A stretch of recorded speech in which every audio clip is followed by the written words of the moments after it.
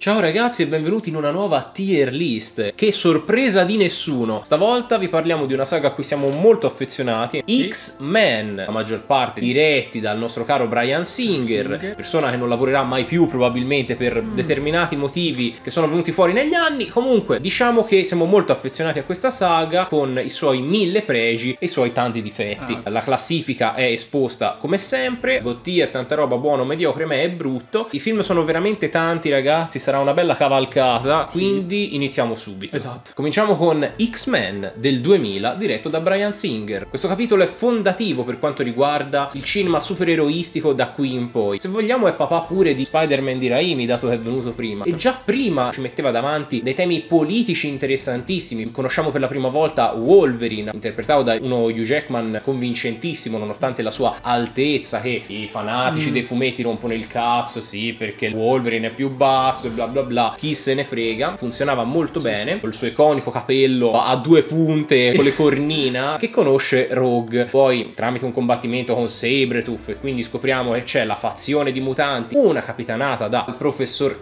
X, interpretato da Patrick Stewart, e un'altra di mutanti un po' più di matrice terrorista, che vogliono mm. distruggere la razza umana, perché la razza mutante è secondo loro superiore, capitanata da Magneto, personaggio interpretato dal incredibile mai finirò di dirlo, Ian McKellen, Sir, il Gandalf del Signore degli Anelli. È il mio magneto preferito. Poi in futuro vedremo anche una versione prequel di questi personaggi, ma a me mi ha sempre colpito veramente tantissimo Ian McKellen. È un personaggio travagliato. Il primo X-Men parte con un potentissimo flashback che ci mostra un magneto da bambino ebreo ad Auschwitz negli anni 40 che nel tentativo di raggiungere sua madre da cui è stato separato, da questo cancello, viene trattenuto tenuto dai tedeschi con questa mano che tende verso la madre, trascina tutte le lamiere del cancello verso di sé, già mostrando i primi segni del suo genoma X. Tramite Wolverine vedremo in contatto con eh, Chuck Xavier e tutta la sua scuola per giovani mutanti, con cui Wolverine farà un po' lo zunderino della situazione, no, ci voglio andare, andate a fanculo, però alla fine dal cuore d'oro comunque sì. rimane invece, aiuterà gli X-Men contro la fazione di Magneto. La storia alla fine è questa qua, è molto semplice, anche lì il finale molto superhero movie, c'è questa macchina, il piano di Magneto sì, e trasformare tutti gli esseri umani in mutanti ed è un'idea figa sulla statua della libertà. Nel suo essere fumettistico, nonostante la sua fotografia più cupa, anche i costumi che comunque sono tutti neri, aveva questa visione non dark, comunque seria, viene rapito il politico da Magneto che poi viene trasformato a sorta di tizio acqua, ma poi mm. comunque si sfalda e muore. È figa tutta la lotta ideologica fra Charles, Magneto, non solo Ian McKellen odia gli esseri umani perché è un mutante e quindi viene considerato un pericolo dal resto dell'umanità, ma soprattutto perché è un mutante ebreo che ha vissuto la Shoah ed è potentissimo il passato di questo personaggio. Si entra in contatto con le motivazioni di Magneto e del suo gruppo di mutanti. Vediamo Mistica, Sabretooth, sì.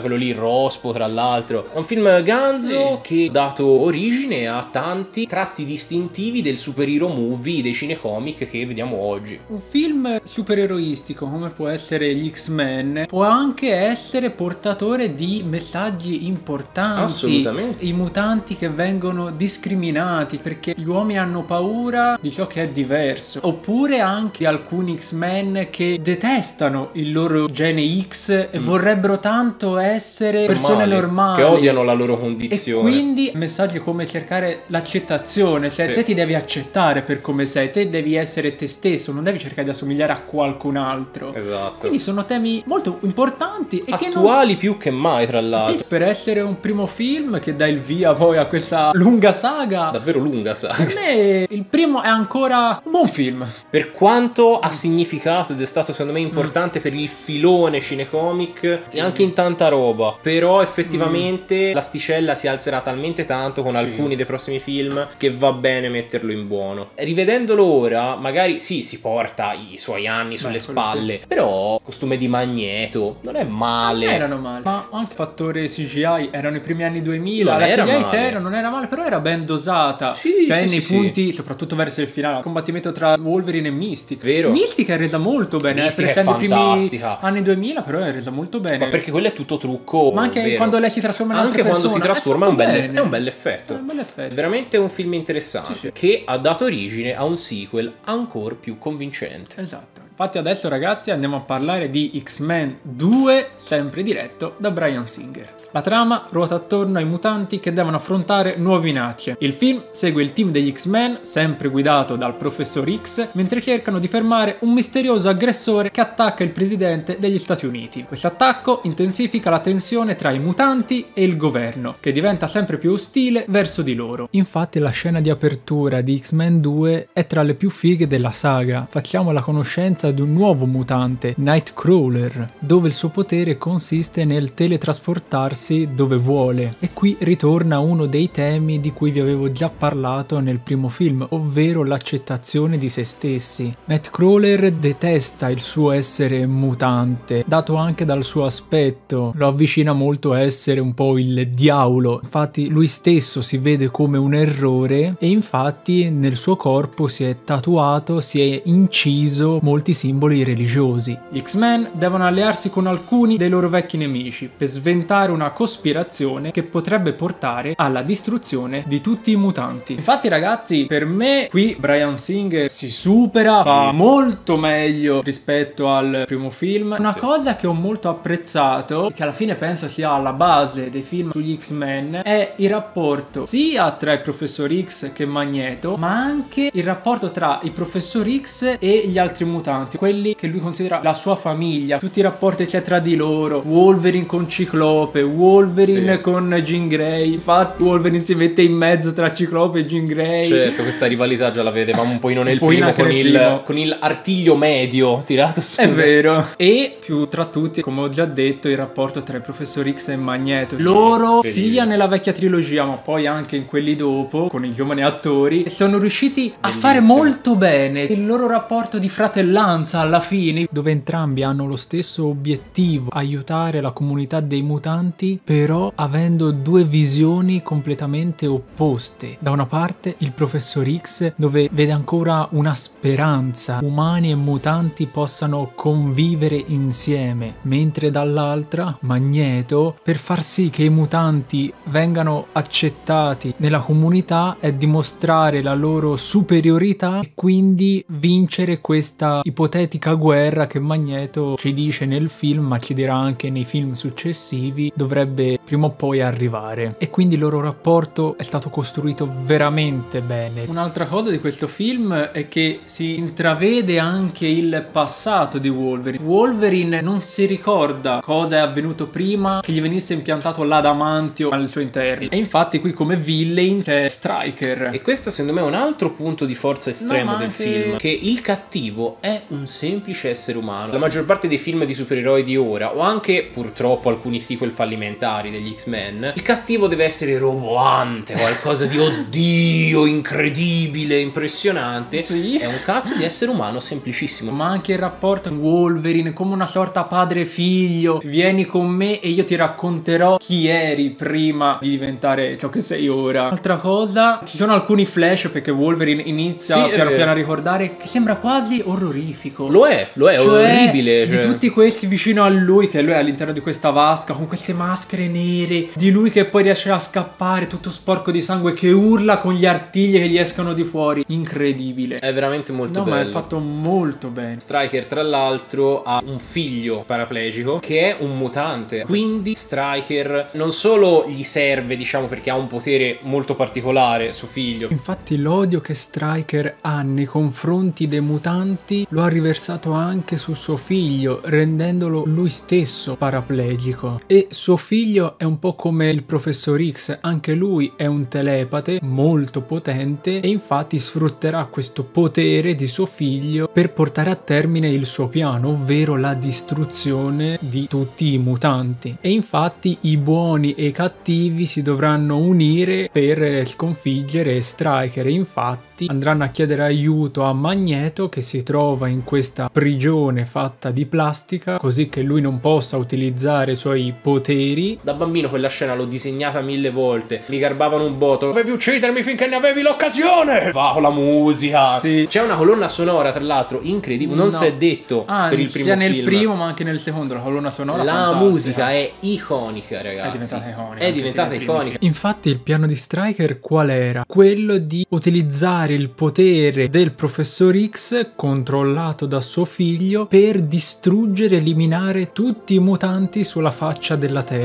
e per farlo aveva bisogno di cerebro che aiuta il professor X nell'ampliare i suoi poteri. E per farlo aveva bisogno della piantina per ricrearlo. Infatti abbiamo un'altra scena fantastica all'interno del film quella dell'assalto alla scuola dove abbiamo un Wolverine perché è rimasto da solo faceva il babysitter per questi giovani mutanti dove mostra tutta la sua ferocia taglia gole braccia. Mi piace il fatto che figlio di Striker funzioni un po' da voglio rendere orgoglioso mio padre per quello che sono, però poi viene rigirato anche lì da Magneto. Infatti poi ricreando cerebro all'inizio i mutanti iniziano a soffrire perché il professore sta utilizzando il suo potere. Poi viene fermato da Magneto, riesce a bloccare il figlio di Striker, però Magneto continua a provare ancora odio verso gli umani e allora vediamo la scena dove inverte i pannelli all'interno di cerebro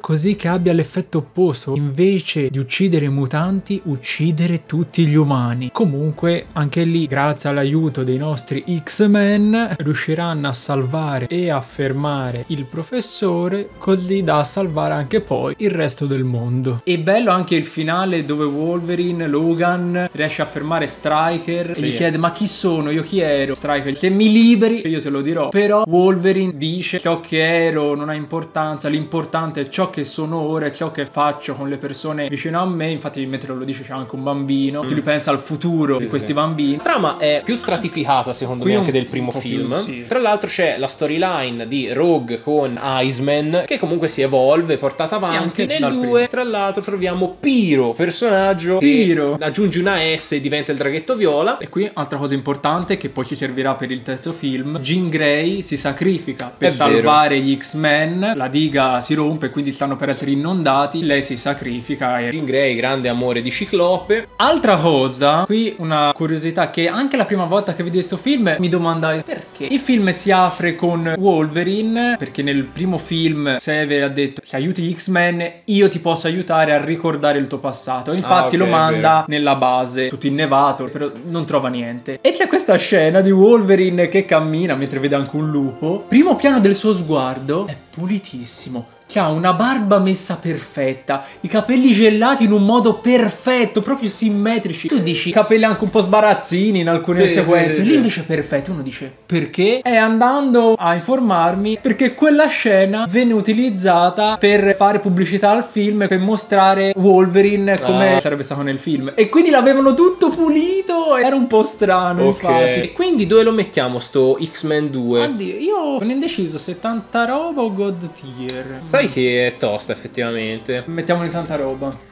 Va bene, dai. Diciamo che il livello poi si alzerà ancora. Però X-Men 2 è veramente incredibile. Diciamo che la bellezza poi del secondo film troverà un po' la sua distruzione nel terzo film. Terzo film. Criticatissimo e molto discusso. X-Men conflitto finale. Terzo film di questa ideologica trilogia originale dei film degli X-Men che parte anche con un pretesto interessante. Il film si apre con la scena di Angelo, personaggio comunque Mm. degli X-Men classici. Io comunque sono non un eccessivo fan degli X-Men fumettistici, ma alle mie spalle potete vedere un bel po' di Robina Bella. Fa parte del primo gruppo storico degli X-Men. Diciamo qui viene presentato anche in maniera interessante, si vergogna delle sue ali, se Mm, lo vorrebbe sì. strappare e poi fugge. Questa scena in cui si nasconde dal padre è molto d'effetto. Padre che poi cercherà di creare questa formula per distruggere il gene Sì, X gene negli esseri umani che ne sono affetti. E alcuni dei mutanti trovano questa cosa utile perché ci sono alcuni mutanti che odiano la loro situazione e il loro essere. Rogue prima di tutte, perché è comunque una crista che se tocca qualcuno gli ruba l'energia Eh, vitale e lo svuota uccidendo. Non potersi toccare con il ragazzo che ti garba è una relazione un po' complicata. Sì. E quindi lei è la prima che subito Esatto. dice cazzo, lo voglio prendere immediatamente. E infatti si distacca poi dagli X-Men, si distacca da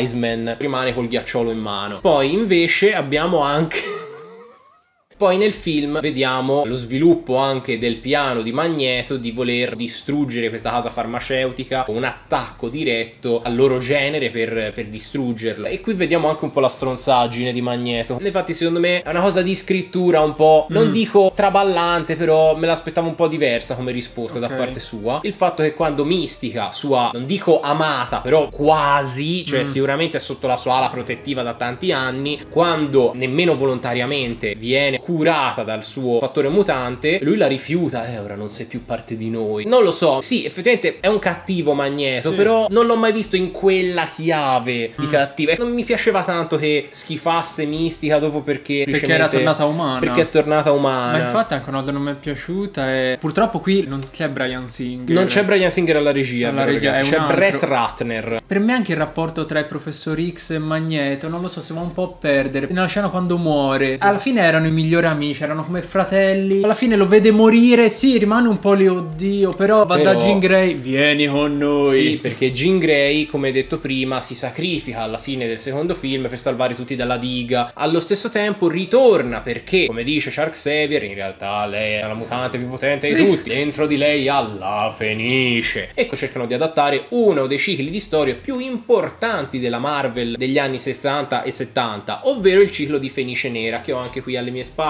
in cui Jean Grey muore. Muore perché posseduta questo spirito, un alter ego potentissimo che la consuma da dentro, la fa diventare stronza e cattiva e soprattutto overpowered a livelli Sì. incredibili. Infatti Wolverine è costretto a ucciderla quando lei uccide Shark Xavier, ammazza pure Ciclope in una scena che boh, eh, va bene, muore Ciclope così. Quindi il tutto culmina in una scena per carità anche di impatto quando Wolverine la ammazza. È l'unica alla È fine, perché l'unica lui si può rigenerare. Quella scena comunque è figa perché Sì. lei fa vaporizzare le persone. È figo che a Wolverine gli toglie la pelle e si vede un po' l'adamantio delle ossa. Sì, non è male. Da vedere è figo. Sì, gli effetti non erano malvagi. No, Abbiamo miglior bestia, secondo me. Ah, c'è bestia. Cioè, sì. Bestia, personaggio comunque interessante e visivamente molto convincente, molto È figo. convincente. Abbiamo il fenomeno che dice una delle linee di dialogo migliori del film. In italiano sono il fenomeno, Sì. ma in inglese I'm the juggernaut, bitch. Insegue Kitty Pride, personaggio nuovo che passa attraverso Sì. qualsiasi parete, Sì. qualsiasi materia solida, interpretata da la fu Ellen Page, ora Elliot Page. Tornerà anche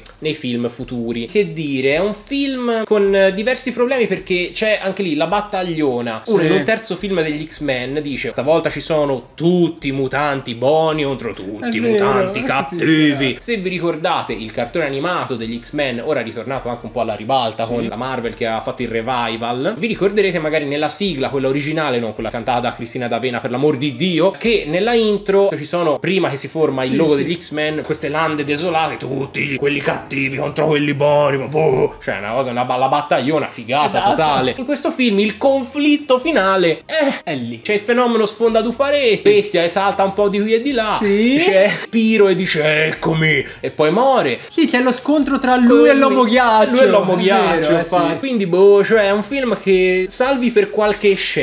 È abbastanza deludente, soprattutto se si pensa dai due film che l'hanno preceduto. E tra l'altro Mm. il finale mi ha ricordato Batman vs Superman. Porco due. Nel finale di Batman vs Superman che c'è? C'è la tomba di Superman. Ah, sì. c'è sì, la sì. terra che si alza. La terra si alza. Magneto qui perde potere perché viene siringato. Esatto, sì. E nel finale è lì con eh, la scacchiera davanti, cerca di farlo muovere. Prima di staccare il film si vede una pedina che... Ah! Che si muove comunque sta riacquistando i poteri quella scena non mi dispiaceva nemmeno tanto secondo me è mille volte meglio della terra e dei terriccio di Ok. merda Ah, il motivo per il quale... No, infatti si dovrebbe domandare, scusa, ma i primi è diretto a Brian Singer, scusa, Perché non è fagli tornato? concludere la trilogia. È vero. Eh, perché quello stesso anno usciva Superman Returns. era meglio se rimaneva a fare gli X-Men Superman Eh. Returns non è una merda era meglio se rimaneva a finire la Eh, trilogia infatti, di X-Men finisce a questo punto la trilogia, andava a fare Superman. Sì, quindi dove lo buttiamo sto X-Men eh, 3 conflitto finale qualcosina che si salva è stato fatto di peggio Alla fine è un film da 5. Sì. Sotto? No. Vabbè, dai, buttiamolo in mediocre, Mediocre. giusto perché ci saranno cose che voi umani, molto meglio tra l'altro del film di cui Alessio sta per parlarvi. Esatto ragazzi, perché finita questa trilogia la gente, tutti chiedevano dateci più Wolverine. Vogliamo più Wolverine dateci nelle Logan. E quindi nel 2009 ci fanno le origini di Wolverine. La storia si apre in Canada nel 1845 dove facciamo la conoscenza di un bambino di nome James Howlett, il vero nome di Wolverine, che scopre i suoi poteri da mutante. Infatti abbiamo la scena dove urla mentre questi artigli fatti di osso gli escono dalle mani e si scopre poi in seguito che ha anche notevoli capacità di guarigione. James scappa insieme a suo fratello Victor. Infatti poi abbiamo un time skip dopo molti anni e vediamo che Logan e Victor partecipano a molte battaglie, per esempio le guerre mondiali, la guerra anche in Vietnam e verranno poi reclutati da questo generale di nome Striker che sta mettendo su una squadra di mutanti, infatti facciamo anche la conoscenza di Wade Wilson interpretato da Ryan Reynolds che in teoria dovrebbe essere Deadpool, abbiamo Will.i.am, sì esatto, il cantante, anche lui un mutante, devono fare questa missione dove generale Striker vuole prendere questa roccia che la chiama Adamantio per dei suoi scopi personali, però poi qui vediamo che Logan Wolverine è stanco di combattere tutte queste guerre e decide di mollare la squadra. Infatti poi trova questa ragazza con cui vuole vivere felice fino a che non verrà uccisa dallo stesso Victor e quindi qui Logan è accecato di vendetta e Striker gli offre la possibilità di vendicarsi, però si deve sottoporre a un esperimento. Consiste nell'impiantare all'interno del suo corpo l'adamantio, così da trasformarlo in un'arma indistruttibile. E da qui poi cercherà vendetta per uccidere suo fratello, che poi lo porterà a una scoperta sorprendente nel finale. Wolverine le origini è stato molto criticato, gliel'hanno dette di cotte e di crude. E io riguardandolo vi devo dire, la prima parte la posso anche salvare. È Sì, dai. interessante comunque le sue origini, perché alla fine Wolverine è un mutante che ha 200 anni sulle spalle, si trasferisce in Canada dove fa il falegname. Eh, lui è canadese. Sì, sì, l'artigliato, L'artigliato canadese. canadese. Ci spiega il film perché lui si chiama Wolverine, perché la sua compagna gli racconta una fiaba da dove ha origine il nome Wolverine. È ghiottone poi, in inglese. Quindi l'inizio era abbastanza interessante. Per me il film inizia a scemare sempre di più dalla seconda pura, parte. ragazzi. Cioè, da quando lui prende l'adamantio. Che poi tra l'altro, cioè, l'esperimento Arma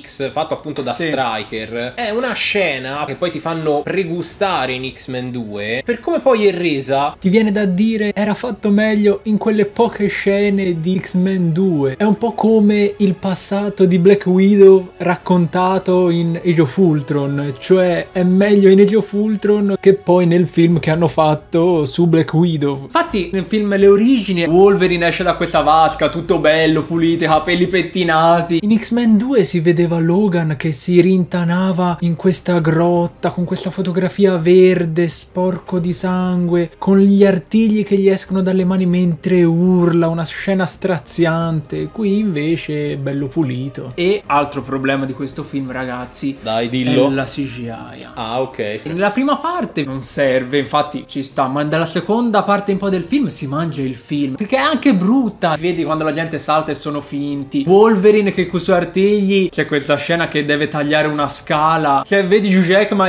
il regista gli avrà detto fai così con le mani e fai finta di tagliare una scala. E si vede staffare le scene tutto in CGI Che brutto. cagata, ma mai una cagata grande quanto Che l'inserimento. Di Deadpool. Esattamente. Anche il modo in cui viene introdotto da Striker, perché lui stava cercando di creare il mutante perfetto. Perfetto. Era un mutante con i poteri di tanti altri mutanti. Infatti qui c'è anche Ciclope. Questo è un film anche che l'hanno voluto fare per dire "Eh, guarda perché in quel film è fatto in quella maniera, guarda perché i suoi poteri sono così". Infatti Ciclope perché ha bisogno degli occhiali nei primi film? Se apre gli occhi distrugge tutti e Esatto, e qui hanno voluto spiegare il perché. Lui all'inizio gli occhi li poteva anche tenere aperti un pochino, però poi viene preso da Striker, gli fa una sorta di impianto, gli prende, non glieli stacca neanche gli occhi, io non so come fa poi, perché i suoi occhi li mette nel corpo di Deadpool. E infatti dopo avergli fatto questo esperimento lui non può tenere gli occhi aperti, se no fa casino. Ma anche Deadpool lì, Striker si vede Logan arrivare, perché si scopre colpo di schiena che la sua fidanzata in realtà è viva, cioè si era messa in combutta con Victor e Striker. Già che gliela butta al culo anche la stronza. Perché tutto era partito da Striker perché voleva far crescere l'odio dentro Wolverine, dentro Logan, così poi da poterlo utilizzare come arma. Eh, E- però poi alla fine si scopre niente, l'hanno tutti fregato sto faro Logan. Sì, sì, gliel'hanno veramente buttata tutti nel culo. E infatti, Ehm, mentre sta lì a parlare, c'ha davanti il corpo lì di Ryan Reynolds con gli Sì. occhi aperti e fa: Questa è l'arma definitiva. Lui è Pool. E Logan chi? Deadpool. Tra l'altro, Deadpool che all'inizio Ryan Reynolds perché ti dice: Eh, ma te parli troppo, eh. Cioè, Esatto. C'è questa parlantina, no? Da rompicazzo di Ryan Reynolds che è proprietà proprio del personaggio. Sono le caratteristiche di Deadpool, essere un rompicazzo. E ovviamente gli cuciono la bocca. Va bene. Che poi Che comunque anche il design che ha No, è si distacca merda. molto da poi dal Deadpool che faranno il film. Anche qui hanno voluto citare quando utilizza i poteri di Ciclope gli vengono i rombi agli occhi neri come nella maschera di Deadpool. Sì, ma che cazzo vuol Sì, dire? proprio per dire oddio, Ada citiamo la sua maschera. Che cagata. Nel finale hanno voluto spiegare ma perché Wolverine ha perso la memoria? Perché noi lo conosciamo Wolverine che non sa nulla. Striker lì c'ha la valigetta, una pistola, i proiettili da davanti e fa Hmm, se non lo posso controllare allora lo ucciderò. E passa un'infermiera lì, stava passando però l'ha sentito Striker. Si affaccia alla porta, guarda che è inutile perché tanto si rigenera. Sì, si rigenera, ma si scorderà tutto. Perché?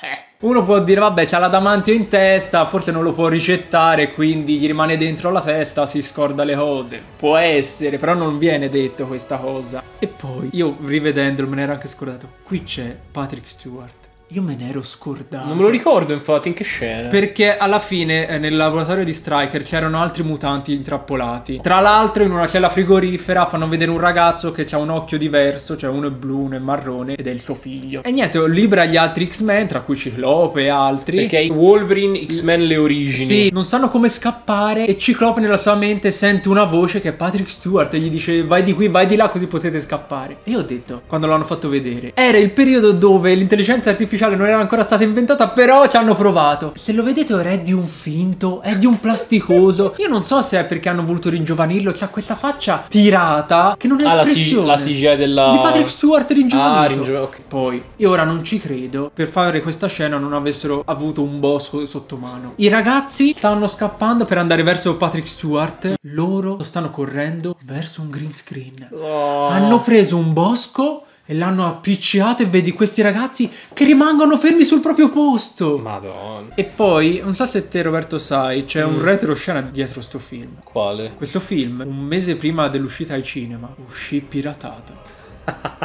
In HD. Ma come? Oddio, me la ricordo sta ma cosa. come prima della post produzione. I file erano tutti messi per bene. Mamma mia. Però si potevano vedere i momenti dove c'avevano ancora i cavi. La gente parlava dietro un green screen. È Bello scoper- scandalo, è non si è mai come... scoperto come uno dice vabbè uno lì della post produzione oppure un hacker che è riuscito a prendere il file questo fu anche il primo film sì il primo film dove Hugh Jackman ha detto è l'ultimo Eh beh. perché comunque tutte le critiche Ma non è, prima, non è l'unica volta che dirà è l'ultimo. comunque. Cioè, Ok, però qui dopo tutte le critiche, il casino ha detto, eh ragazzi, addio. Diciamo che questo film è veramente Cioè la prima parte... La prima parte è guardabile, cioè ci sta. È dalla seconda parte in poi che è un casino dietro l'altro. Io mi sento più cattivo nei confronti di questo film, da metterlo sinceramente in brutto. Lo vuoi mettere in brutto? Facciamo così, ragazzi. Per ora lo infiliamo in me. Mm. Poi, a seconda dei film che verranno dopo, magari scenderà. Ok. La prima parte non è malvagia. I titoli di testa mi ricordo erano carini. No, perché appunto ti fa il riepilogo. Di Si ispira. Tra l'altro, ti mostra il passato ispirato a Wolverine Origini. Origini, che è un fumetto secondo me fenomenale di Wolverine, eh, però riassumendolo in due secondi. Per me ci potevi fare un intero film solo sul prologo, cioè solo l'inizio del film. Ma sarebbe stato più interessante. Molto più interessante secondo me. Passiamo adesso invece a X-Men, l'inizio, esatto. First Class, in cui arriva alla regia Matthew Vaughn. Chi non conosce Matthew Vaughn magari avrà visto Kingsman. Che dire, X-Men l'inizio è un film con delle idee molto potenti. Torniamo al flashback del primo film degli X-Men di Brian Singer in cui esploriamo il passato di Magneto. Vediamo il piccolo Eric che dopo che ha mostrato i suoi poteri viene interrogato da questo generale nazista. Il problema è che non ci credete che è un tedesco vero perché Kevin Bacon non ci assomiglia a un tedesco, ha il volto più americano del mondo okay. quell'uomo. Arriva da lui e diciamo lo costringe a far rivelare i suoi poteri o se no gli fa fuori la mamma. Magneto non riesce a utilizzare i suoi poteri davanti a lui immediatamente a comando e quindi gli fa fuori la madre. Poi il film si basa tutto sul mostrarti di nuovo le origini in realtà di questi X-Men, ma in maniera sinceramente molto migliore di X-Men le origini. Vediamo anche un recast dei personaggi per farli più giovani. Charles Xavier è interpretato da James McAvoy, Michael Fassbender interpreta Magneto e il film si basa sul loro rapporto che carria tutto il film. È fantastico. Magneto, cresciuto, vuole vendicarsi di Kevin Bacon, incontrerà Charles Xavier che è un festaiolo impazzito e si droga dal mattino alla sera, fa festa e tromba di qui e di là a destra e a sinistra, con capellone ovviamente, che poi verso la fine del film creerà la scuola per giovani mutanti e il suo rapporto all'inizio di tanta amicizia con Fassbender un po' si andrà a deteriorarsi. Che dire, è un film che analizza molti temi sociali scottanti, le armi nucleari dei vari stati del nostro pianeta di cui Magneto si vuole disfare per rappresentare lui come mutante, in generale i mutanti come la vera minaccia per la razza sì. umana. Xavier ovviamente ha idee contrapposte alle sue e questo rapporto è veramente mostrato in maniera ottima. Abbiamo anche Mistica che scopriamo sì. essere all'inizio una brava guagliona, interpretata da Jennifer Lawrence che conosce James da bambini. Il problema del, del loro rapporto è che secondo me è leggermente tirato, nel senso mi fa un po' ridere che il professor X dica no, ma non ti posso trombare perché lei veramente gliela darebbe gratis proprio, ti prego ingravidami professor X, però lui dice no, ma io ti vedo di più come un rapporto di amicizia, un rapporto sì. Familiare e infatti Xavier poi alla fine avrà un rapporto un po' più particolare con una, una governatrice, una che poi si farà amica durante il film e che cercherà di rendere degli agenti governativi i primi X-Men. Questo rapporto, secondo me, di lei che si vuole trombare il professor X, poi è il motivo per cui lui dice no, non voglio, per cui se ne va con Magneto. Dice Magneto, ma te sei bellissima così, non ti devi vergognare. Il professor X gli dice guarda, devi metterti da essere umana per non dare nell'occhio. E invece Magneto dice...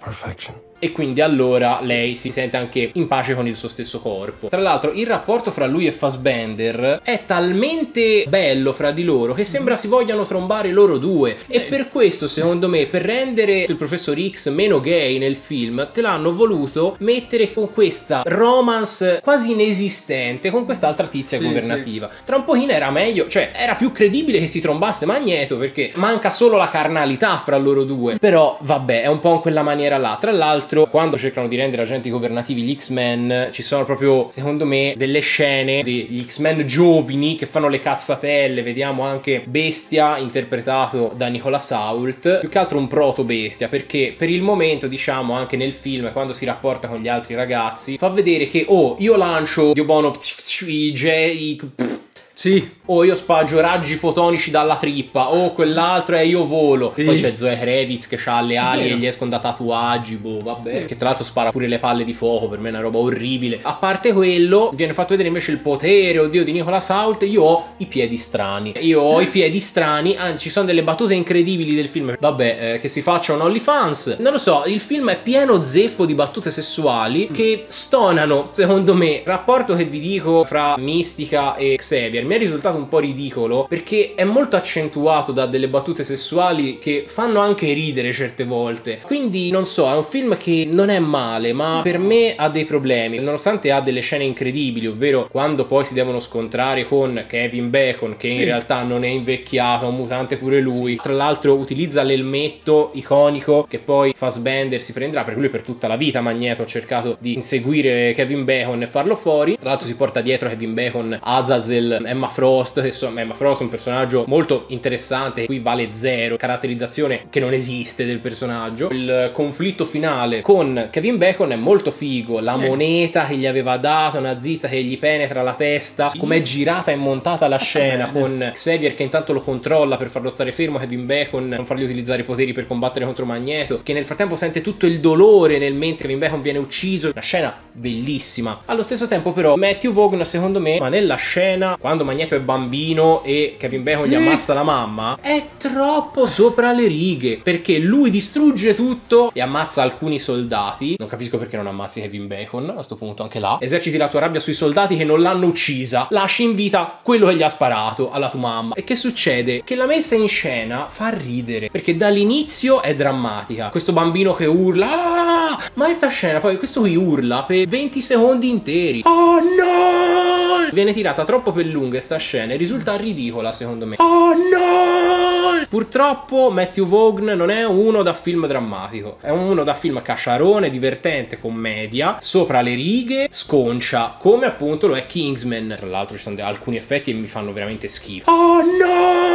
C'è Bestia con un trucco che fa cagare, Bestia con il trucco quando poi si trasforma totalmente, c'è un trucco che fa schifo, confronto anche a X-Men 3. C'è Zoe Kravitz che vola con le ali da libellula, quello che è, che sputa palle di foda dalla bocca. Per me è una roba orribile da guardare quelle cose lì. Quando poi è sulla sedia a rotelle, quando parla con la tizia lì del governo, devono tirare fuori il fanservice fatto di merda. Adesso sono in sedia a rotelle, ci manca solo che sia pelato. Madonna, ragazzi. Ma anche quando Magneto, dopo aver ucciso Kevin Bacon dall'altra parte della spiaggia, i russi e gli americani che lanciano le loro testate sulla spiaggia per uccidere tutti i mutanti sì, e Magneto sì. li ferma. Xavier gli dice no, fermo, non lo fare. Loro stanno solo eseguendo degli ordini e Magneto gli dice tutta la vita sono stato vittima di persone che seguiva gli ordini. Dialoghi bellissimi. Ma era molto bello, Dialoghi infatti, bellissimi. Film con una marea di pregi ma una marea di difetti. Tra le curiosità che ho trovato, qui per esempio abbiamo Magneto e Xavier che devono reclutare nuovi X-Men. Ah sì, c'è anche la comparsatina di Hugh Jackman che ovviamente li manda a fanculo. È sempre uguale perché appunto lui non invecchia. Sì, sì. E quella battuta l'ha improvvisata. In realtà doveva esserci un dialogo tra loro. Okay. Hugh Jackman non ha detto niente perché lui ha detto eh, Wolverine non direbbe mai queste cose. Lui la prima cosa direbbe è andato tutto a fare in culo forse, perché non vuole far parte Forse Hugh Jackman ha tirato fuori anche tutto, quel, tutto l'astio che aveva verso la produzione del film precedente. E infatti, se ci si fa caso, visto che ha sorpreso tutti, c'è Fassbender che guarda dice ora che si fa? E infatti loro poi se ne vanno subito perché pensavano di dover rigirare la scena.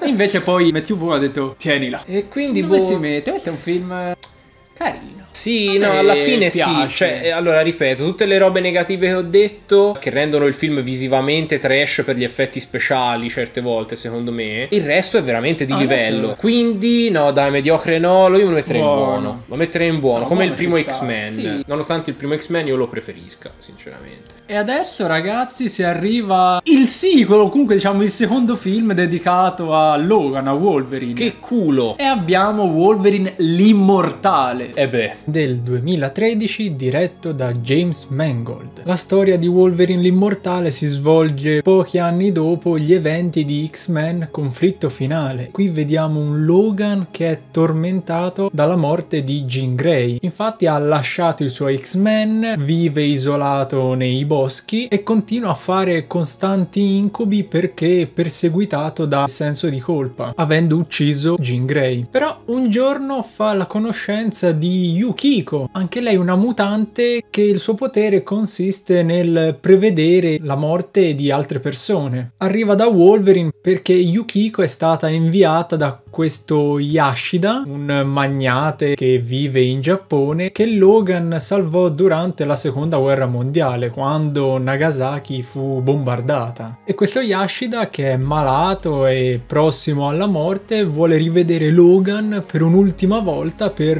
ringraziarlo, ma anche per offrirgli un dono. Essendo Logan un mutante con un notevole fattore rigenerante, è praticamente immortale, però questo Yashida potrebbe renderlo mortale. Di questo film io dico due scene te le ricordo, come per esempio la scena che vi ho detto poc'anzi, ovvero del bombardamento a Nagasaki, dove questo giovane soldato giapponese vede la bomba che sta per cadere e Wolverine lo prende e lo porta con sé in questa sorta di pozzo dove utilizza il suo corpo per proteggerlo mentre Wolverine viene bruciato. E infatti anche lì figa la scena che grazie al suo fattore rigenerante come riesce a rigenerare tutto il suo corpo. E questa è una scena figa. Pure quando arriva in Giappone deve combattere contro la Yakuza la mafia giapponese su questo treno che va ad una velocità impressionante. Però allo stesso tempo non ha senso perché c'è Logan che può fare quelle mosse che rimane sul treno per due ore ma con gli altri due minchioni della mafia giapponese della Yakuza dopo due secondi dovevano crepare però rimangono al suo livello. Oltre a queste due scene, il film non ti lascia poi chissà che. Vediamo infatti poi Logan che accetta l'invito di Yukiko, arriva in Giappone da questo Yashida e come vi ho già detto lo vuole sì salutare, però vuole togliere questa sua immortalità perché la vuole lui. Vivi da ormai più di 200 anni, vorresti morire, non ci riesci, ci penso io. Dalla a me la tua immortalità, così io ritorno giovane e continua a essere qui il capo del mio impero che ho costruito. E gli dice che non morirà subito, potrà farsi una famiglia, avere dei figli, invecchiare e poi un giorno morire. E Logan giustamente gli dice ma guarda è un po' impossibile perché certe cose non si possono cambiare. Yashida gli dice guarda qui noi possiamo fare di tutto. E infatti da quando gliela leva forse la cosa che contraddistingue Wolverine il fatto che tutti gli possono sparare, tutti gli possono fare le cate e vuole ma lui si rigenera togliendoglielo questo fattore. Boh è Hugh Jackman che corre per il set. Riesce a togliere l'immortalità attraverso un apparecchio che vedremo poi in seguito viene messo messo mentre dorme da questa Viper, viene chiamata anche lei una mutante, una sorta di serpente che aggeggia con veleni e gli riesce a impiantare questo sorta di apparecchio al cuore che gli blocca il suo fattore rigenerante. Non viene spiegato come, però vediamo che Logan poi non riesce più a guarire. Poteva essere interessante come idea perché un prendi un personaggio immortale che gli spari e non gli fai un cazzo, in questo film te lo volevano rendere più fallibile. Però il fatto che gli abbia tolto il fattore rigenerante durante il proseguire del film, questa cosa non la percepisci per tutte le botte che ha preso, le coltellate alla schiena, gli hanno sparato alle gambe. Lui comunque continua a correre. Sembra che il fattore rigenerante ci sia ancora. Sì, ok, eh, ha le ferite aperte, però continua a fare di tutto, continua a fare i grandi salti. Diciamo che nel film è reso come se io piglio Alessio, gli spacco una rotola okay. e lui fa aia. Comunque sì ragazzi, da quando lui perde il fattore rigenerante per tutto il film non succede niente, c'è Hugh Jackman che corre per il set, fino a che riesce a scoprire il perché non si rigenera più, vede che c'è questo apparecchio attaccato al cuore e questa è un'altra scena carina di lui che si taglia il petto e infila la mano per prendere l'apparecchio attaccato al cuore. Infatti una volta che se lo stacca il suo fattore rigenerante di mutante nonostante ritorna e infatti c'è anche una bella scena quando combatte lì con il figliolo di Yashida. Poi il terzo atto, cioè alla fine ragazzi Wolverine combatte contro l'armaturona gigante a forma di esatto. samurai che ha la spada lunga quanto. Vuole andare a salvare la nipote di Yashida, infatti anche durante il film ci sta un po' insieme, infatti ci va anche a letto. Si arriva al momento dove si deve confrontare con questo Silver Samurai dove al suo interno che abbiamo Yashida, colpo di schiena, era vivo, cioè ha fatto finta di morire. Chi l'avrebbe mai detto? Forse perché durante il film non c'era nessun cattivo di rilievo. Che poi Yashida con questa sua lunga spada che tenendola a due mani diventa di fuoco, riesce a tagliare gli artigli di Wolverine che poi gli vuole infilare questi suoi aghi all'interno delle ossa che erano rivestite di adamantio, così gli dà assorbire il suo fattore rigenerante, quindi la sua immortalità, così lui da diventare giovane. Boh, non si capisce come, vabbè. Eh, lui infatti dice la sua società può fare tutto, quindi può fare anche sta cosa. Nel combattimento finale abbiamo anche questa Viper che avevo già citato all'inizio del video. Lei ragazzi ha una caratterizzazione che veramente non esiste, per tutto il film ha sputato un po' di veleno qua e là. Non sa veramente di nulla. C'è una scena che la riguarda e non ha senso nemmeno quella. Forse perché le avevano fatto un graffio, l'avevano colpita da una parte. Vabbè, dai, cambiamoci. E fa la muta Sì, fa e diventa muta. pelata. Tra l'altro non ti fa nemmeno vedere come fa, si è tolta tutti i vestiti e si è fatta No, poi se muta. li rimette. Poi se li rime- Quindi si è denudata, si è rimessa vestiti, ok, avrò fatto la muta, mi rivesto, va bene. Sì, poi infatti muore anche un modo, gli Del viene cazzo. legato, sì, un cavo al collo, poi gli viene tirata via dall'ascensore e rimane impiccata. Poi ragazzi, questo è una- un piccolo rage moment personale. Questo film è basato su uno dei cicli più belli di Wolverine in assoluto. Ok. Wolverine scritto da Chris Claremont e disegnato da Frank Miller. Un ciclo in cui vediamo Wolverine con la sua amata Mariko, il cui padre in Giappone è sto gran cazzo del capo di questo clan Sì. di ninja assassini. E lui per poterla sposare non, la- non lo può fare perché lei, dio dio, tutto il discorso dell'onore giapponese, Sì. del fatto che è legata a suo padre nonostante sia una merda. Fumetto molto sofferto, è un ciclo di storia veramente molto sofferente e qui i personaggi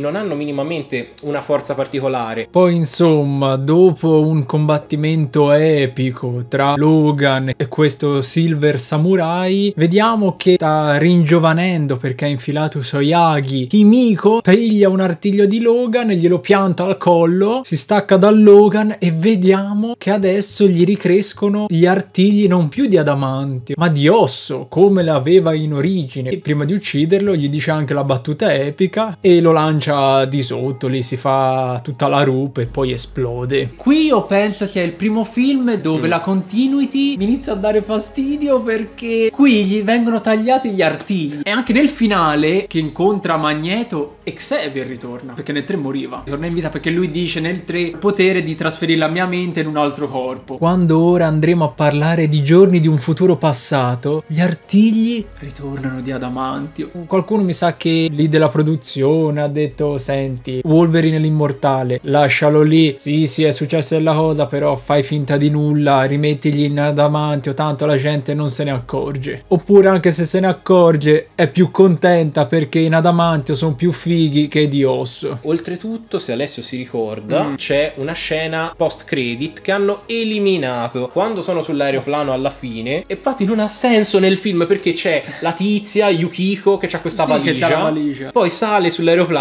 sta valigia sparisce, non c'è perché in una scena alternativa lei doveva dargli questa valigia. Vede c'è il costume classico di Classico. Wolverine. Intanto Però- questo film lo buttiamo in me.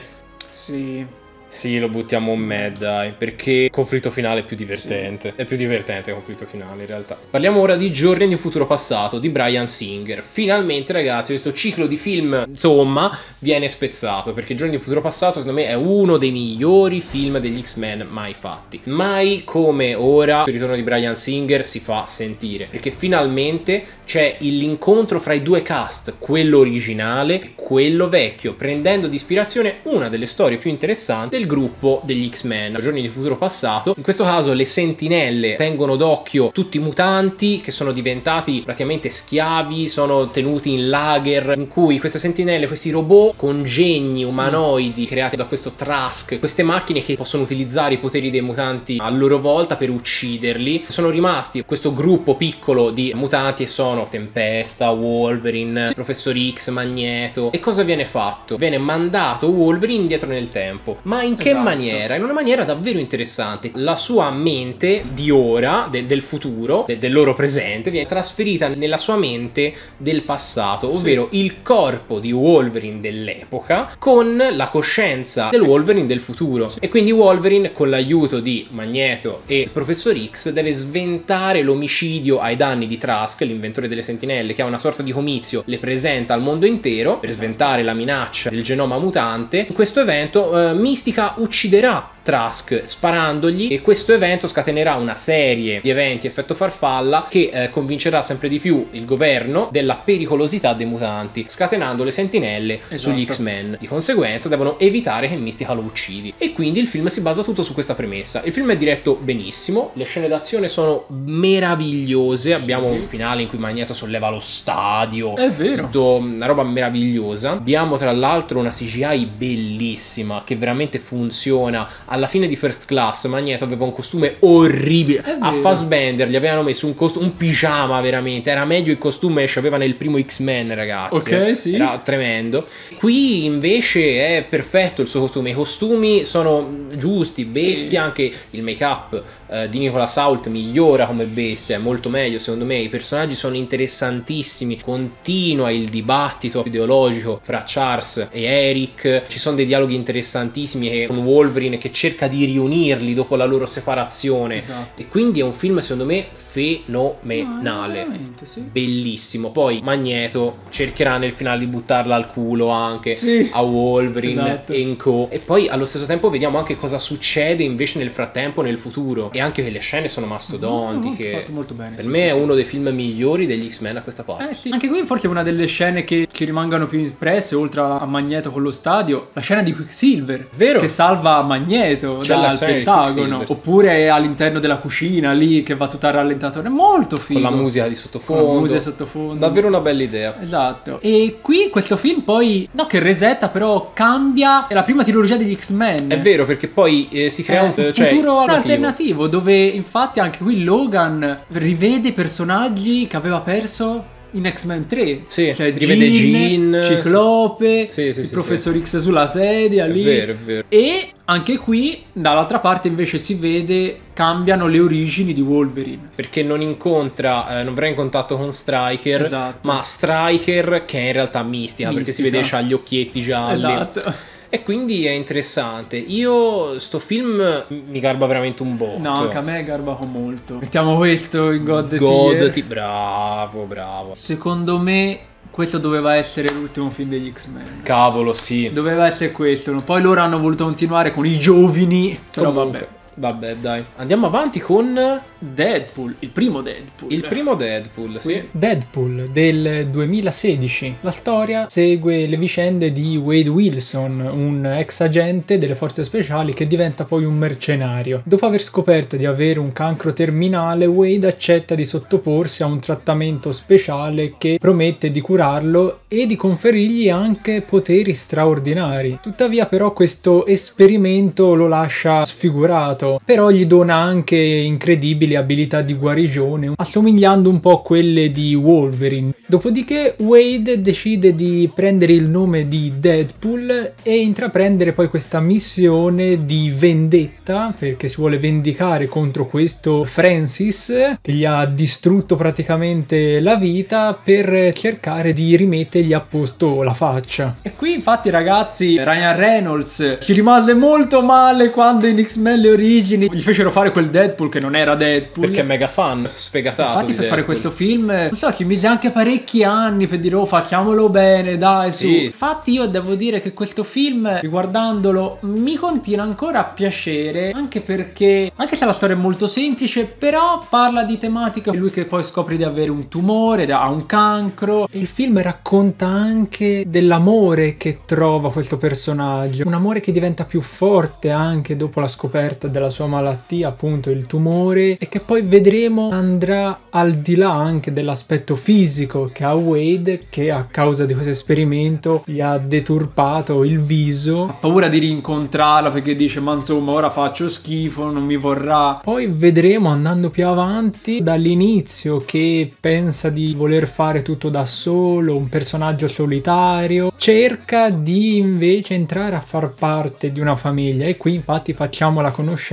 di altri personaggi all'interno del film, degli X-Men, come per esempio Colosso e Testata Mutante Negasonica. Il primo, poi ora, poi parlando anche del seguito, aveva delle battute perché lui è un personaggio che sfonda la quarta parete. Ovvero quando Deadpool spesso si rivolge direttamente al pubblico che guarda. Alcune battute ci sta. Il film comunque è noto per il suo umorismo nero. Pieno di parolacce anche, non Sì, mi ricordavo. sì. È uno dei primi violento. film all'epoca che comunque era rated R. Rated R, di primo supereroi. Supereroi e rated R era una cosa Infatti- abbastanza strana. Le battute che faceva erano anche molto, diciamo, comprensibili dal grande pubblico. Perché poi, parlando anche del sequel, fa battute Più per i che. fan. eh, Io- infatti, mm. cavalcava anche molto l'onda dei film che giravano in quel momento. Io ho un film che dico, ok, ci sta. È un buon film di Deadpool. È finalmente la rivincita su quel personaggio di merda di X-Men, le origini. Però allo stesso tempo mi stucca un po' col tempo. Mi è piaciuto la prima volta, però non è un film di cui vado pazzo, diciamo. Ho preferito il secondo film proprio perché Ah, la,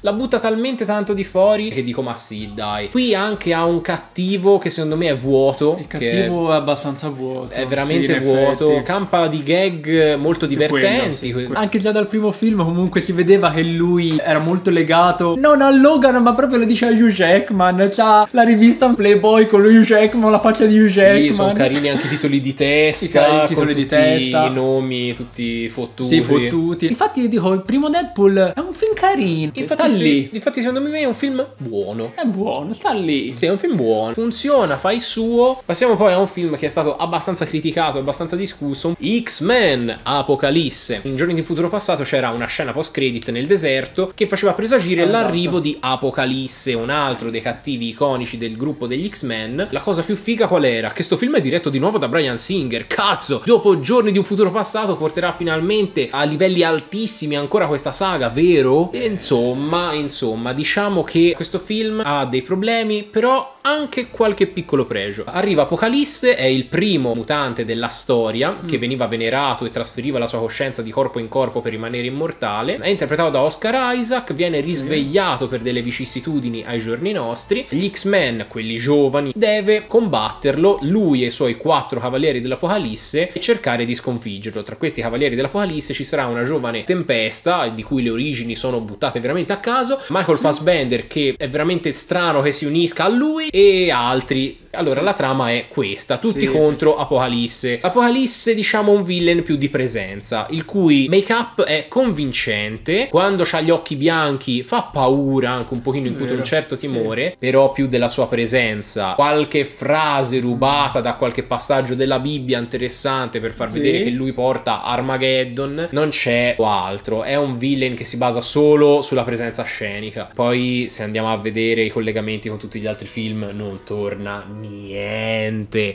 Ritorna Wolverine che fugge dal progetto Arma X. Nel frattempo c'erano gli X-Men lì a giro, c'era Jean Grey, Sì, c'era. Ciclope. Ciclope, Sì, come si chiama? ehm, Nightcrawler. Nightcrawler, una versione nuova. Per il resto, le scene d'azione, però, secondo me si vede che sono dirette da Brian Singer. Mm. Perché sono molto belle da vedere. C'è un bello spettacolo, dei begli effetti visivi. Però anche lì fa sbendere un po' sminchiato in questo film. Da che se ne va dopo Ah, giorni di un sì. futuro passato, decide di mi sono fatto una famiglia con una, tra l'altro, una moglie doppiata in maniera criminale. Anche la sua figliola ha dei poteri. Infatti, poi quando lui viene sgamato perché lavora in un'acciaieria e salva un tizio, non l'avesse mai fatto utilizzando i suoi poteri, gli arrivano a casa e alla fine muore sia la, la sua figliola che la sua moglie. Si incazza come una biscia e poi alla fine incontra Apocalisse. Io posso potenziare i tuoi poteri e io sono potentissimo e potenzio i poteri di tutti, divento Dio, eccetera. Va bene, mi unisco a te. Sì, lo riporta ad Auschwitz per dirgli ducate. Il motivo poi perché rimane con lui è un po' tirato, Ah. è un po' tirato. Tra l'altro non capisco perché in questo film eh, Apocalisse sia praticamente un parrucchiere perché dà i poteri a Tempesta, gli fa diventare capelli bianchi. Sì. Cerca di entrare nel corpo di Shark Xavier, gli cadono tutti i capelli a ciocche. Gli fa proprio anche i vestiti. Sì. Li mette da-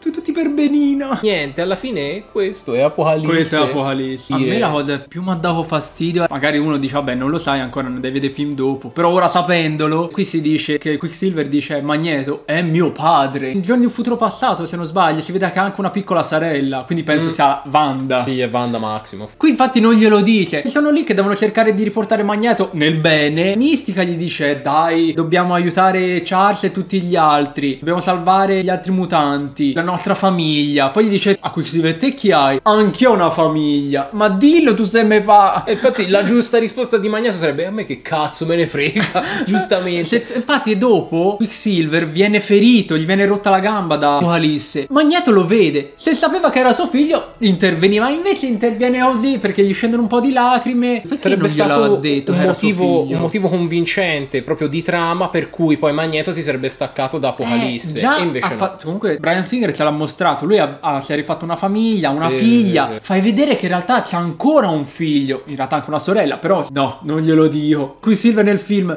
Glielo dirò. Non è vero. Boh. Che poi Eh, nel no. finale, quando devono sconfiggere bello Magneto, gli tira due travi e forma la X degli X-Men. Vabbè, lì effettivamente anche meno, infatti, boh, non lo so. Brian Singer qui mostra il fianco purtroppo ed è un peccato perché non l'aveva mai fatto finora. Tutti i suoi film in erano effetti- un peccato, infatti. Nonostante ciò, secondo me ha delle scene che lo salvicchiano per, Mm. per l'intrattenimento, diciamo. Cioè, anche qui la scena ti si ricorda è quando Quicksilver salva la, Però anche ragazzi lì è una scuola. ripetizione. È una ripetizione. Cioè, uguale a quell'altra con la musica diversa. con una musica diversa. Però te lo ricordi, dici, va bene. Sì, va Carino. bene, però alla fine è mediocre. Non è me. Secondo me un pochino me, cioè non Sì, è, noio- meglio, non è sì, noioso, non è- ok, sì. cioè non è dupalle No. come Wolverine, un pochino meglio è, Sì, dai. Cioè, capito, problemi di trama come X-Men conflitto finale, ma comunque un pochino ti diverti. e secondo me Sì, siamo sì, lì, Va eh. bene, sì, sì. E adesso, ragazzi, si parla di un film Tanta roba. Tanta roba, ovvero Logan del 2017 diretto da James Mangold. Logan è ambientato in un futuro distopico in cui la maggior parte dei mutanti è scomparsa. Wolverine è un uomo invecchiato, malato, che vive isolato e si prende cura di un professor X che è affetto da una malattia neurodegenerativa che rende i suoi poteri pericolosamente instabili. Logan lavora come un autista di limousine per raccimolare la giusta somma per poter scappare via con il professore in un posto più sicuro e tranquillo. Tuttavia però la sua vita cambia quando un giorno incontra una mutante di nome Laura che possiede delle abilità molto simili a quelle di Logan. L'arrivo di Laura nelle vite di Logan e del professore li porterà in un viaggio per raggiungere un luogo sicuro che viene chiamato Eden, un luogo dove sperano di trovare rifugio dai nemici che stanno cercando Laura. Però le cose non andranno come loro pensano. Logan è quel film che quando lo mia. vidi al cinema, quando finì e tornai a casa, io mi sembra ricreai un po' il meme di Stewie. I should get some sleep.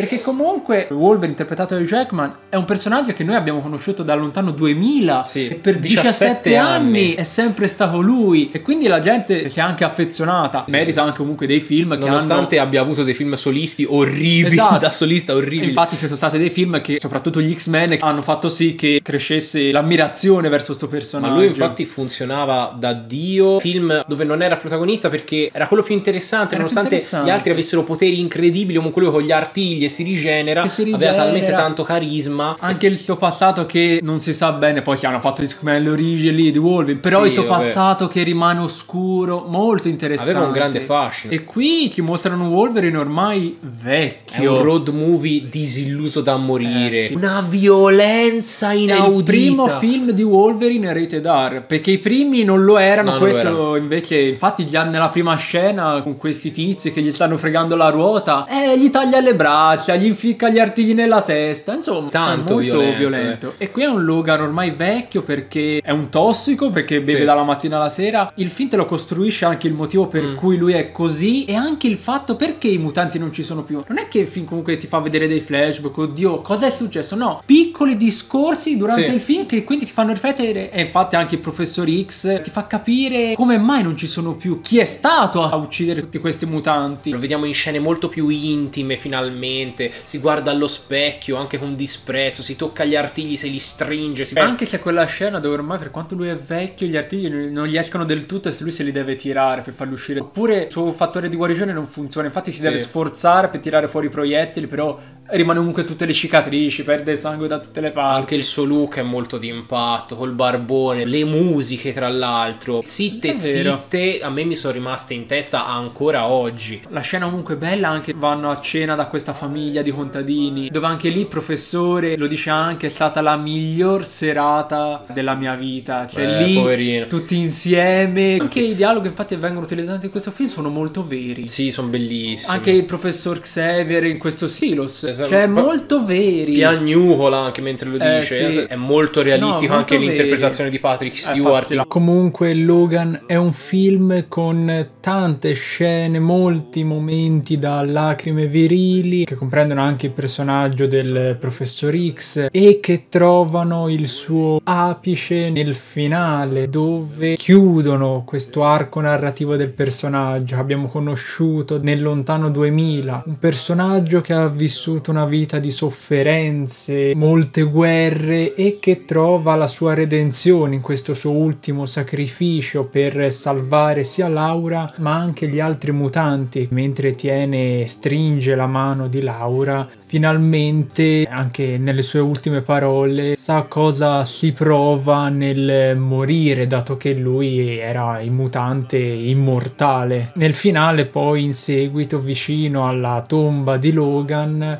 rappresenta un po' anche l'eredità, ovvero adesso l'eredità di Logan vive in Laura e anche negli altri bambini mutanti. Quindi Laura dentro di sé ha lo spirito di Logan, ma con la speranza di un futuro migliore. Infatti vediamo i bambini che si allontanano andando in cerca di un posto sicuro dove poter avere una vita migliore, un futuro migliore e la telecamera ci saluta con la tomba di Logan che ha come lapide questa X per ricordare non solo lui che è un X-Men ma tutti gli X-Men in generale. Con una citazione che nessuno ha notato nel finale al- Ah. all'inizio del texano dagli occhi di ghiaccio. Infatti, in questo film ci sono più strizzate d'occhio a un certo tipo di cinema Sì. western. Il film che guardano Il film che guardano alla televisione, che è il Cavaliere della Valle Solitaria, quando fa la X diventa sì una X, ma era anche secondo me una citazione al Texano dagli occhi di ghiaccio, quando Clint Eastwood seppellisce suo figlio. Comunque, questo film sì, è veramente bellissimo. mettiamolo quindi- tra i migliori. Senza tanto indugiare troppo va in God Tier, è veramente fenomenale, Sì. bellissimo. Adesso parliamo di Deadpool 2. Stavolta è diretto niente poco di meno che David Leitch, che tra l'altro è eh, davvero un regista d'azione con i controcoglioni e infatti qui lo dimostra. Mm. Personalmente lo preferisco al Mm. primo, nonostante sia un film forse anche meno quadrato rispetto al primo, ma il divertimento secondo me è maggiore. La butta talmente tanto di fuori da essere veramente una mega cazzatona. La storia alla fine sì, ve la posso dire, ma è veramente un pretesto del film per raccontare gag e cazzatone varie. Arriva Cable, interpretato da Josh Brolin, che viaggia nel tempo e deve far fuori un ragazzino mutante che causerà molti problemi in futuro. Esatto. Però Deadpool lo proteggerà perché sta cominciando ad avere un contatto più ravvicinato con gli X-Men e vuole provare a essere migliore, anche perché all'inizio del film gli fanno fuori la FIA. E quindi niente, e questo è tutto un pretesto poi per scene d'azione realizzate davvero bene, violenza realizzata molto bene e un sacco di gag cretine, però che funzionano anch'esse. Mm. Sono battute su Josh Brolin perché interpretava Thanos all'epoca in Infinity War. Ci sono battute rivolte anche alla seriosità dell'universo DC di merda di quell'epoca. Il film si regge ancora una volta sullo sfondamento della quarta parete, le cazzatone e il divertimento più totale. E su questo campa e questo funziona bene. Secondo me è poco da dire di Deadpool 2 perché Eh. guardatelo, eh, vi divertite ed è quello. L'unica cosa qui io mi stavo un po' annoiando. Nel finale lui si vuole sacrificare per salvare il ragazzo mutante. Ah, sì, sì, sì, sì. Eh, infatti lui vedendo che uno ha cercato di salvarlo, Mhm. l'ha protetto, infatti cambia il futuro di Cable. Sì, sì, infatti sì, si vede dall'orsacchiotto. È vero. Però, mentre Deadpool sta per morire e deve dire le ultime parole prima di crepare, non lo so, io ero a dire sì, ma dopo un po' basta, chiude gli occhi. Eh? Fa un errore. Eh? Perché lì fa un errore. Vuole sì rendere simpatica e con le gag una scena drammatica. In cui però allo stesso tempo ci Eh. credono un po' troppo. No, per poi. troppo. Ci credono un po' troppo nella drammaticità di questa scena. Per poi, appunto, comunque filarcela. Comunque eh, riempirla di gag Sì. dopo. E quindi risulta un po' fallimentare, è vero, un po' pallosa, tirata troppo per le C'è, lunghe. c'è Quello è anche vero. Cable che fa Sì, ne vuole più nemmeno. esatto. Ma infatti io ripeto, a me non mi fanno impazzire i film di Deadpool. Sono carini, però se devo dire quale riguarderei con forse più piacevolezza, effettivamente è il secondo perché la butta ancora più di fuori. Nonostante ciò c'è anche un cameo del fenomeno realizzato Ah, vero, un pochino fenomeno, meglio, sì. un pochino meglio di com'era in conflitto finale. I'm the Juggernaut, bitch! E lì, infatti, tra l'altro, c'ha delle battute grevissime. Ah. Io lo guarda, lo metterei in buono, però, anche quello. Alla fin dei conti, per com'è diretto e tutto, è meglio comunque del 2, del Mm, primo. Delle sì. scene d'azione, secondo me, sono tanta roba. No, va bene, sì, Cioè, sì. funziona. E adesso Eh, ci quindi- troviamo di fronte finalmente all'ultimo film. All'ultimo film. Perché Dio Bono, e tra l'altro si finisce veramente in merda. Alessio, Eh, ragazzi, sì, hanno voluto concludere la saga degli X-Men, quelli giovani, con questo film Dark Phoenix. X-Men Dark Phoenix segue la storia dei mutanti, focalizzandosi particolarmente sul personaggio di Jean Grey. Quando Jean viene colpita da una misteriosa forza cosmica durante una missione nello spazio, il suo potere aumenta a livelli incredibili, trasformandola nella potente entità nota come la Fenice Nera. Mentre Jean lotta con il suo oscuro alter ego, gli X-Men si trovano di fronte alla decisione di salvare il loro amico o fermare la minaccia che rappresenta per il mondo. Anzi, non ritorna Brian Singer per questo film, è un altro regista. Tutte le volte che c'è da trattare la Fenice Nera come saga, Brian vero. Singer tela. Per il terzo film, poi. tela. Cioè, Allora, prima di tutto, per me gli attori, tra tutti, non avevano voglia di recitare o di stare sul set. No. Per esempio, Jennifer Lawrence, è la nostra mistica, nei primi film aveva un trucco. Qui gli hanno pitturato solo la faccia di blu. Quindi è lei, però è solo blu. Ma poi anche il finale di X-Men Apocalisse finiva con lei che diventava la nuova guida. Infatti Mm. faceva vedere tutti con i propri costumi. E qui, ragazzi, in pochi minuti mandano tutto nel cesso perché Mistica muore, viene Mm, uccisa da Jean Grey. Quicksilver, che aveva delle scene abbastanza iconiche, quei momenti dove rallentava tutto con una canzone di mezzo. Quindi anche quello. Qui inciampa perché Jean Grey gli sposta una tegola e quindi eh, si rompe tutto. E quindi per tutti i film lui non c'è. Sta così nel letto tutto rotto. Il professor X, questo film è del 2019. Nel 2018 l'attore aveva fatto il film Glass. E comunque Ah. si era dovuto un po' pompare. Sì. Te vedi sto professor X su questa sedia, c'ha delle braccia che esplodono. che poi neanche dice, vabbè, gli mettono la giacca addosso, quindi un po' da mascherare. Con la Mezze maniche. Sì, fa vedere i muscoli alle braccia. Anche il rapporto tra Magneto e il professor X. Ah, vabbè. molto blando. Qui Magneto quasi una macchietta. Ce l'hanno scritto male perché Jean Grey va da lui a chiedergli aiuto. Eh, gli X-Men mi vogliono far fuori perché sono cattiva. Non gli dice a Magneto che ha ucciso Mistica. Perché sennò Magneto, eh, Beh, io se no ti fa fuori, hai ucciso Mistica. Comunque lui ci teneva. E c'è quella scena di arriva questo esercito perché vuole fermare Jean Grey. Va da Magneto per salvarli. Li vuole mandare via. Però c'è Jean Grey che intanto cerca invece di tirarli a sé. E quindi c'è questo momento di Magneto che sembra si stia cagando addosso. C'è il modo in cui lui recita per spostare. Cioè lui ci mette tutta la forza possibile. Però sembra stia cagando. Cioè ci sono solo questi primi piani del volto. E fa ridere. Poi lui scoprirà che Jean ha ucciso Mistica. Quindi diventa cattivo. Vuole ucciderla. C'è di nuovo Xavier che dice: No, Magneto, non si fa. Non fare queste case. E Magneto risponde: Sì. Me l'hai detto tante volte. Stavolta non funziona. C'è anche la cattiva. Anche qui ci sono.